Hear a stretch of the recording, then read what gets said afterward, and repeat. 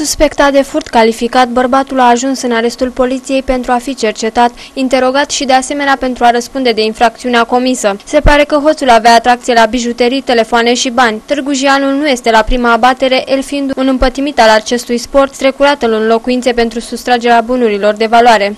Bărbatul în vârstă de 41 de ani din municipiul Târgu Jiu este cercetat de polițiști pentru săvârșirea mai multor furturi de pe raza municipiului Târgu Jiu.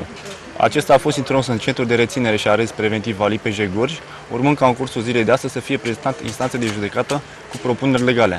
Cu mulciorul nu merge de multe ori la apă, așa și cu hoțul prins la păgubit. Dacă este găsit vinovat pentru faptele sale, bărbatul urmează să-și petreacă mulți ani în spatele gratiilor. Prejudiciul în valoare de aproximativ 2400 de lei a fost recuperat parțial, fiind restituit părților vătămate. În cursul zilei de astăzi, suspectul a fost prezentat parchetului de pe lângă judecătoria Târgu Jiu cu propunere de arestare preventivă.